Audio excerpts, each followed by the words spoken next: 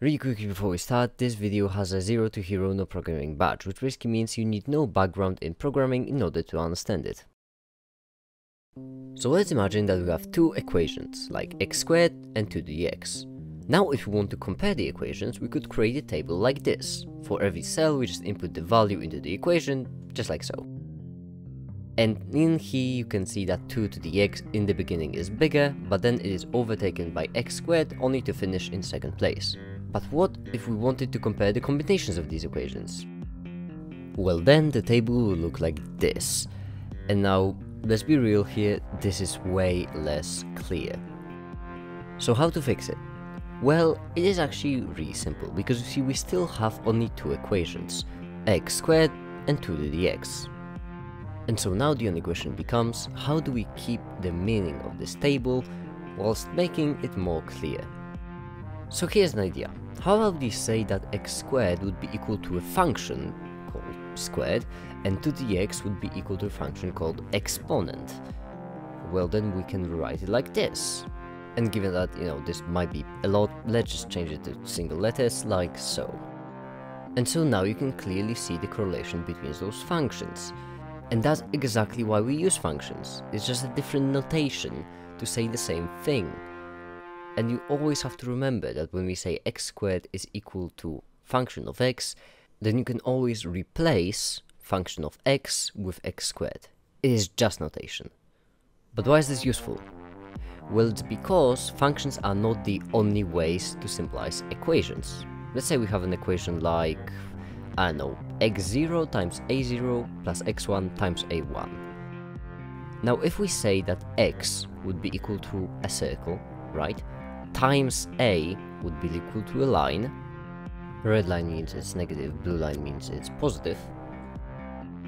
And lines connected together basically means you add everything up, you sum it, then we could symbolize the equations on the left with the graphs you see on the right. Now this is a really great frame, so let's analyze it, because there are three things to unpack here. First of all, the equation on the left. I mean, yeah, it is quite large, but notice that it's not really complex. Yeah, there's, there are a lot of variables and such and such, but it's only addition and multiplication, and that's it. Second thing, the left equation is extremely, extremely bloated in comparison to the simple node tree on the right. And that's exactly why we should use the node tree notation, because it's more readable and it's more simple. You can clearly see the correlation between all the x's and all the constants in the node tree. When it comes to the equation, it's a bit weird. And the third thing is the fact that we can have multiple inputs and multiple outputs. If we put two nodes in the end, then we get multiple outputs. But why are multiple inputs and multiple outputs important? Well, it's because if you're creating a machine learning program, let's say an AI that learns how to walk or something like this, then you could create a creature with four joints. It would probably look like this one, right? It has four joints, one, two, three, four, and basically want to teach the AI how to operate these joints so that it could run. So then what would you do is you'd probably make an equation for it.